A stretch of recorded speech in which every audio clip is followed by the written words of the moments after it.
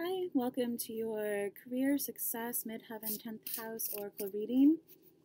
Cards tell you how to make money like the people on them, but they're a little bit, you know, non-realistic. So just try to see how these energies might be telling of people, where people's energies focus might be this week. Um, try to sort of read between the lines and see what we can get from it. Coming week, people what people need to know for their careers, success, 10th house. Okay, we got a lot. Um, Adam Smith. How to make money is a free market is worth more than gold.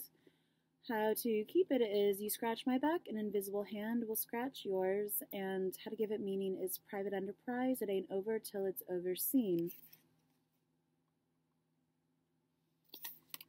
Also came out as Angela Merkel. How to make money is a penny saved, is a problem solved. How to keep it is no big debt goes unpunished.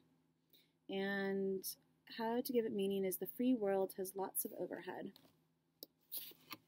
And on the bottom is Sheryl Sandberg. How to make money is log in. The news how to keep it is the news feed is always starving and how to give it meaning is update your terms and conditions. And um, Adam Smith.